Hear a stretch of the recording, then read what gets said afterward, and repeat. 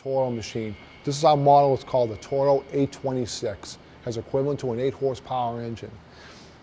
The chute is called joystick chute control. By pushing this blue button down, you can move the chute back and forth, side to side. Every time you let go of it, it locks the chute in a position where the, where the handle sets in. So it will not move until you push this blue button down. Also has locking handles, which is really nice. Push the left one down, the right stays down.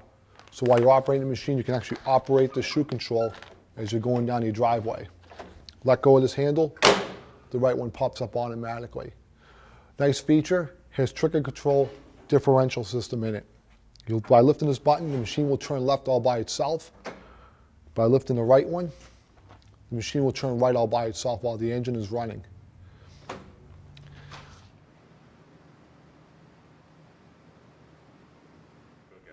Next model we have from the 826 is called the 1028. The machine has a 28 inch cut on the auger. It also has the trigger controls, the locking handle assembly,